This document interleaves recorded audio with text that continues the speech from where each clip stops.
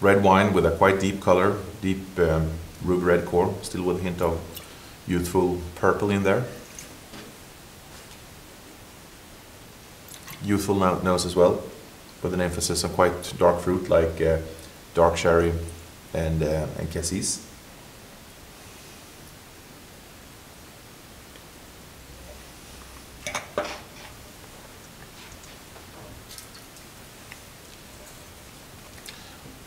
Medium weight on the palate, a little bit more than the medium weight, it has quite broad structure.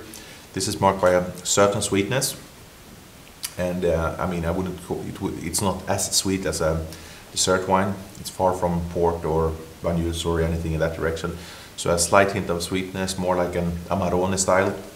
And um, again, how to use that, I would probably think in the direction of, of cheese or uh, rather than sweeter desserts or, or chocolate. Whatever people like to do with it, they can they can do with it, but it's not a very high sweetness.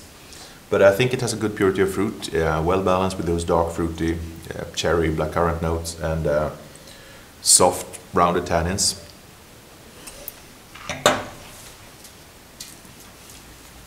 And um, quite a long finish.